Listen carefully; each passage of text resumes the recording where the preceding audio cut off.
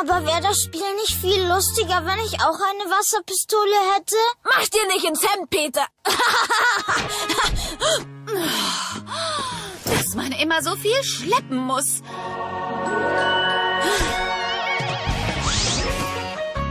Ah, danke, Henry. Peter, los, trockne dich ab und leg dieses alberne Spielzeug weg.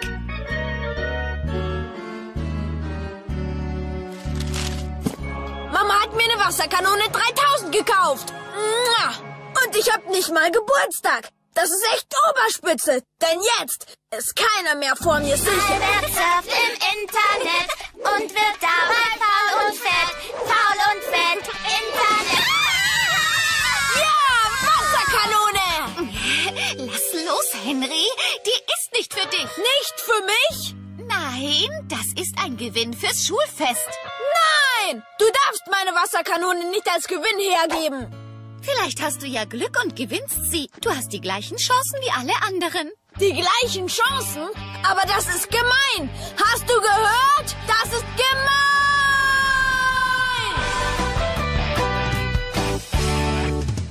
Henry, gib mir jetzt die Sachen, die du fürs Schulfest spendest. Ich gebe aber meine Spielsachen nicht her. Ach, jetzt sei nicht so, Henry. Nein, nicht mein Flecki. Nein! Hier sind meine Spielsachen, Mama. Die möchte ich gerne anderen Kindern schenken, die nicht so viel Glück haben. Oh, das ist wirklich lieb von dir, Peter. Und was ist mit dir, Henry? Na gut, dann suche ich eben was aus. Um das mal klarzustellen. Was kriegen finde ich gut. Was geben finde ich blöd. Doch bei manchen Sachen bin ich bereit, eine Ausnahme zu machen. Du gibst doch nicht die Pupsi, Stupsi, Trinki, Winki, Krabbel, Brabbelpuppe her, die dir Tante Grete zu Weihnachten geschenkt hat. Mama! Tante Grete denkt, ich sei ein Mädchen. Und das hier ist für meine allerliebste Nichte, Henriette. Ich heiße Henry, Tante Grete, und ich bin ein Junge. Zunge? Nein, das ist nichts zu essen, Henriette. Eine Puppe! Was soll ich denn mit einer Puppe anfangen? Die oder gar nichts. Vielen Dank, Henry. Also, keiner von euch darf in nächster Zeit ins Wohnzimmer kommen. Ich muss die Schatzkarte für das Piratengewinnspiel malen. Du malst die Schatzkarte? Hier? Tja, irgendjemand muss das ja machen. Sie malt die Schatzkarte hier, bei uns zu Hause. Das ist es. Genau. Die Wasserkanone gehört schon mir. so easy being me. I'm hard Henry.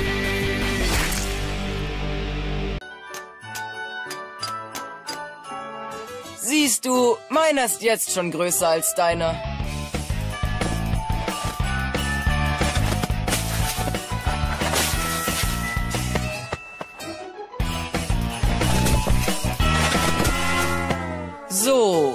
Willst also Spielchen spielen.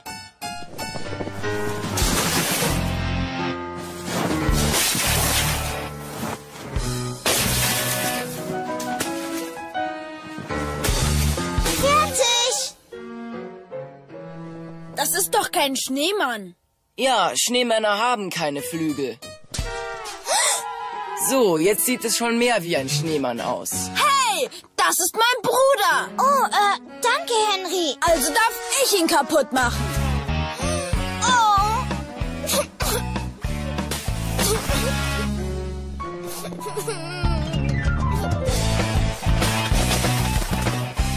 Meiner ist der Größte. Meiner ist der Größte. Meiner ist der Größte. Fest.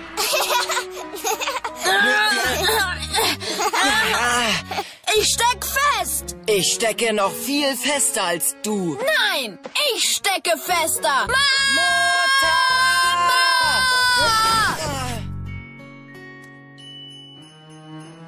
So. Ach, Peter, der ist ja sehr schön. Den habe ich ganz allein gestrickt. Den habe ich extra für mich angefertigt. Mama, wir müssen dem Weihnachtsmann noch Plätzchen und Mällchen stellen. Äh, das machen wir gleich. Ich wünschte, es wäre schon morgen. Warum? damit du zusehen kannst, wie ich all die Geschenke auspacke, die du gerne hättest? An Weihnachten geht es ums Geben, nicht ums Bekommen. Klappe, du Zwerg! Wenn du nett bist, lass ich dich vielleicht auch mal mit meiner galaktischen Schleimpistole schießen. Nein, danke. Ich krieg meine eigene. Nun, das wollen wir doch erst mal abwarten.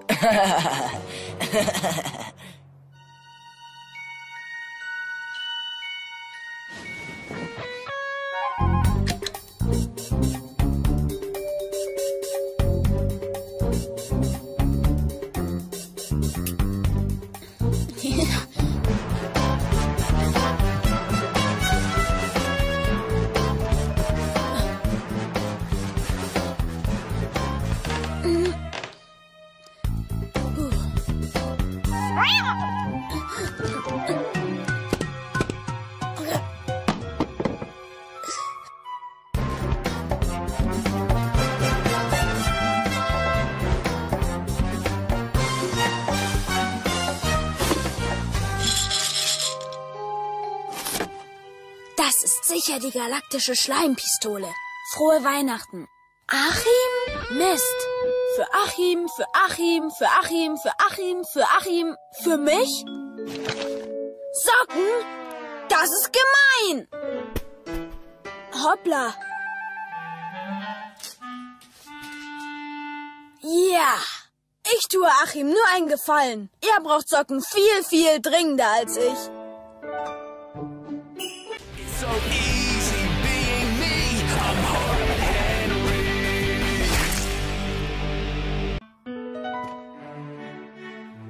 Hier, bitteschön, Laura. Rosenkohl mag ich nicht und Mais mag ich nur, wenn er nicht mehr am Kolben ist. Schön, dann reich ihn mal rüber. Und den Mais auf einen Extrateller. Ich mag's nicht, wenn das Gemüse mit dem Fleisch in Berührung kommt. Ja, und steckt Laura in ein extra Zimmer. Ich mag's nicht, wenn ich sie ansehen muss. Autsch, Henry hat mich getreten. Nein, das war ich nicht. Das ist ja so peinlich für uns. Sei nicht so gemein, Henry. Wenn ich König bin, zeige ich der launischen Laura, wer, wer der König ist. Henry, hör auf mit dem Essen zu spielen.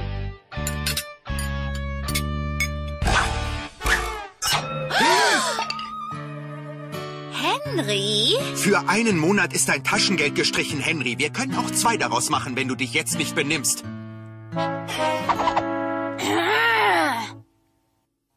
Gute Nacht, Häschen. Gute Nacht, Häschen. Igitt. Ah! Laura. Tu die weg! Laura war das, Peter. Warum sagst du's nicht Mama? Dann kriegt sie mal zur Abwechslung Ärger. Einen Gast verpetzen? Das könnte ich nie. Das ist ganz unhöflich. Unhöflich? Du bist nur zu feige, du Zwerg. Sie schnüffelt in meinem Zimmer in all meinen Sachen rum. Das ist es. Genau. Ja. Laura ist unser Gast. Wenn sie rumschnüffeln will, dann ist es meine Pflicht, es leichter für sie zu machen. Und morgen heißt es, Henry ist wieder da.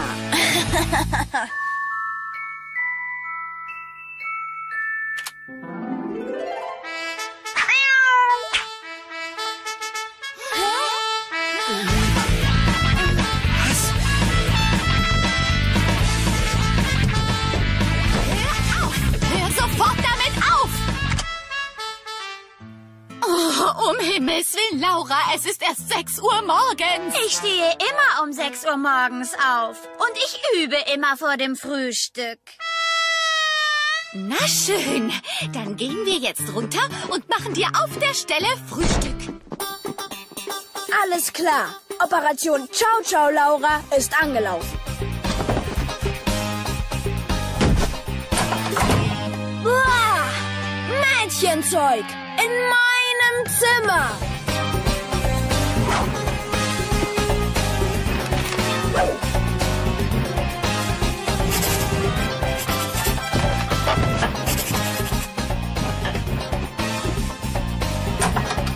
Hey, was machst du denn da?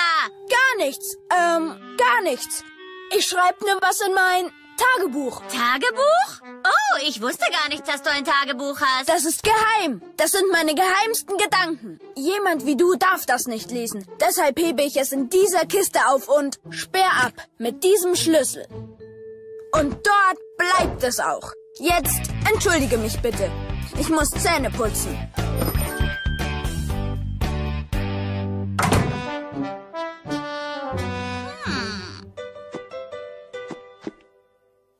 Eine Schnüfflerin, immer eine Schnüfflerin.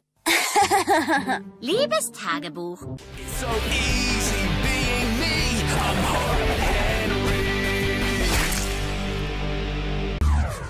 Ich bin erwachsener geworden. Ich verspreche, dass ich mich benehme. Nein, du gehst heute früh zu Bett, Henry. Das ist gemein! Das ist gemein! Das ist gemein! Das ist echt gemein! Was gibt's denn heute Abend, Schatz? Lachs mit Limetten und Ingwersoße und als Nachspeise Mousse au Chocolat. Mama, schön, dass ich heute Abend die Stumms kennenlernen darf. Netter Versuch, Henry. Ah, Aber das ist echt gemein. Peter darf auch aufbleiben und ihr ist Mousse au Chocolat. Ich liebe Mousse au Herr Chocolat. Stumm will Peter Cello spielen hören und dann muss er ebenfalls ins Bett.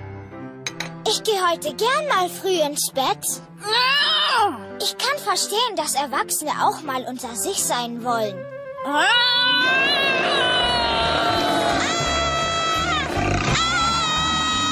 Sei nicht so gemein, Henry. Hör auf damit. Geh in dein Zimmer. Ich gehe nicht. Ich will aufbleiben. Ich will Mousse au Chocolat. Ich will... Sofort. Und du kommst erst wieder runter, wenn ich's dir sage. Die Gäste sind da. Oh nein, die Mousse. Jetzt muss ich sie neu machen. Ah, guten Abend. Hallo. Freut mich, Sie kennenzulernen, Herr und Frau Stumm. Ich bin Peter. War das eine Fahrt? Lass Herkules runter, Schatz.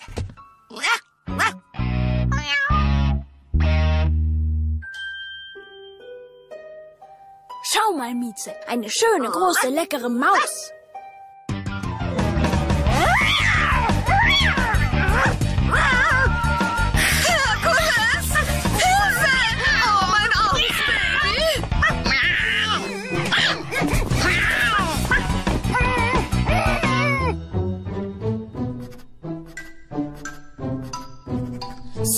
Peters Cello viel besser klingen. So easy being me. I'm hard Henry. Na gut, mal sehen, was ich machen kann. Oh, vielen Dank, Henry. Wo ist mein Getränk? Ah, Geh weg, du stehst mir in der Sonne. Meine Mutter sagt, ich muss Peter zurückkaufen. Tja, Pech gehabt. Ich hab viel Geld für ihn bezahlt. Kein Problem. Hier sind deine 1,50 Euro. Ha! Du verschwendest meine Zeit. Ich hab ihn ja angelernt. Er ist mindestens huh, 10 Euro wert. 10 Euro? Ich bezahle doch keine 10. Hey! Und was ist, wenn ich für ihn einspringe? Du? Als Diener? Du wärst miserabel. Miserabel, Henry. Ich wäre hervorragend. Und du könntest mich rumkommandieren. Dich rumkommandieren? Hm, das wär's mir schon wert. Na gut, aber ich will was für mein Geld haben. Gut, versprochen. Ich musste 10 Euro bezahlen. Oh, vielen Dank, Henry. Ich geb's dir wieder. Ich bin frei. Ich bin Du gehörst jetzt mir. Ich komme. Ihre Erfrischungen, meine Damen. Zu spät. Ich muss jetzt gehen. Das hast du jetzt davon. Du musst lernen, dich ein bisschen mehr am Riemen zu reißen. Aber Und unterbrich mich nicht. Ich begleite Susi jetzt zur Tür und dann will ich neue Nüsse, ein erfrischendes Getränk mit mehr Eis und schüttle meine Kissen auf. Kapiert? kapiert. Okay, Operation Henrys Befreiung ist angelaufen.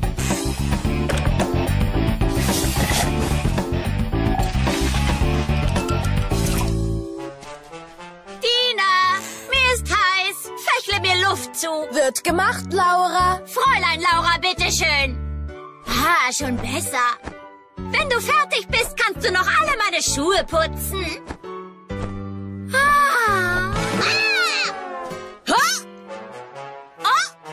Hast du mit der Liege gemacht? Oh, sie muss kaputt sein. Hm, vorhin war sie völlig in Ordnung. Oh, ah, hilf mir raus! Hier drüben, Fräulein Laura.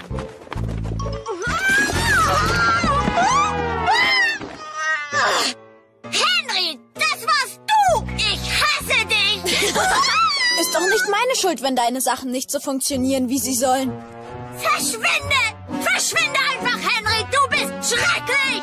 ich habe doch versprochen, dich zu bedienen.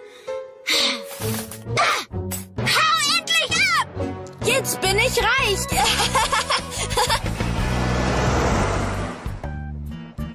Das ist eine Menge Geld, Henry. ja, das habe ich verdient.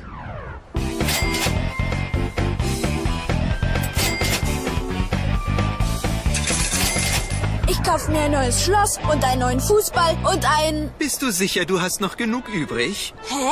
Was meinst du mit noch genug übrig? Und hier geht's doch gar nicht zum Spielzeugladen. Nein, wir fahren zum Sportgeschäft, wo es Tennisschläger zu kaufen gibt. Und dann fahren wir zur Parfümerie, wo es Parfüm zu kaufen gibt.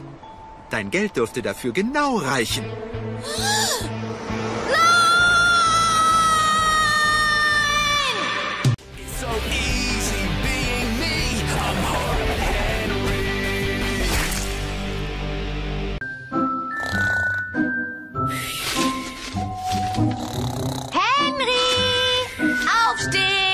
Ihr schreibt heute ein Diktat. Hast du das schon vergessen?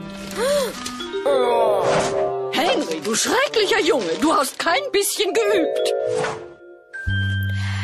Ich finde, heute ist ein guter Tag zum Kranksein. Henry? Bist du schon aufgestanden? Oh, ich fühle mich irgendwie krank, Mama. Für mich fühlst du dich ganz normal an. Zieh dich an und putz dir die Zähne. Ihr ist völlig egal, wenn ich die ganze Schule anstecke. Nein, ich glaube, er ist wirklich krank. Er ist ganz blass und heiß.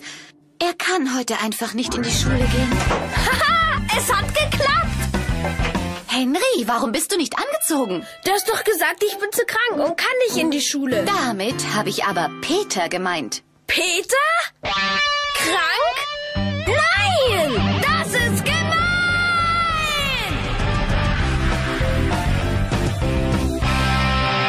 Peter glaubst du immer und mir nicht. Ah, red nicht so einen Quatsch, Henry. Übrigens, Babypuder und Wasser vermischen sich nicht. Ich will aber zu Hause bleiben.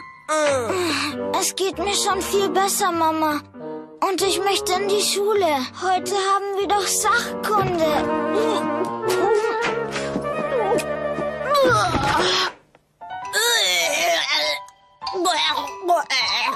Henry, du bist nicht krank und du gehst in die Schule. Peter, du bist krank und du bleibst daheim. Oh. Oh. Ach, warum sehen Sie nicht, dass ich von Bakterien befallen wurde?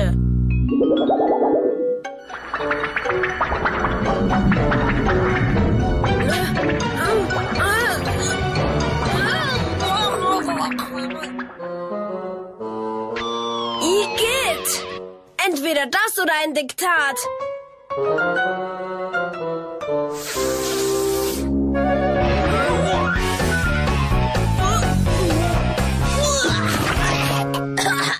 Du meine Güte, Henry auch. Oh, dann gehe ich schnell zur Arbeit, bevor ich mich auch noch anstecke. Macht's gut! Scheint, als würdest du auch daheim bleiben müssen, Henry. Ja, geschafft! Na dann komm ab ins Bett, Henry. Wenn du krank bist, musst du dich hinlegen. Und das heißt keine Computerspiele.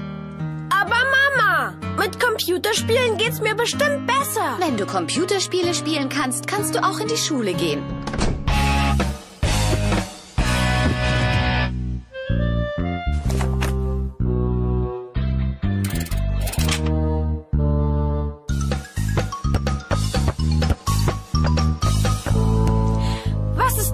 Krank sein, wenn man nicht am Computer spielen darf. Mama, ich hab Hunger! Mama, ich hab Durst. Mama, mein Bett ist zu warm! Mama, mein Bett ist zu kalt.